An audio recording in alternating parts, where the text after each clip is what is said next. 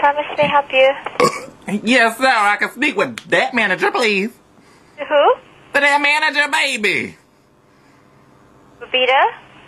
I want to speak to your captain, baby, your manager. Take me to your damn leader, bitch. You want the pharmacy manager or you want the store manager? Can I talk to you, baby, because you sound lovely as hell. How can I help you, sir? Sir, I'm a black ass woman. A black woman to be exact. Not one to be trifled with. I believe so. You believe it too. Anyways, I had gone up in there to get me my birth control, and this heifer behind the counter had refused to give me that. Why is that?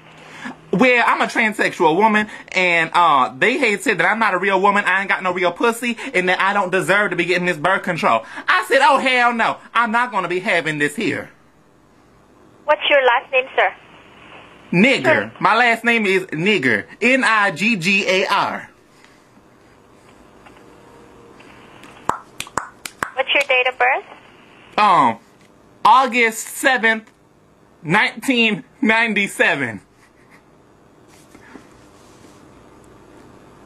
Can I ask you a question? Yeah. Well, Pick up a prescription here or, uh, yes, it was there. It sure enough was there, honey. And I am angry as hell. And hearing your voice whine to me on the phone like that make me want to fight. Because I'm black.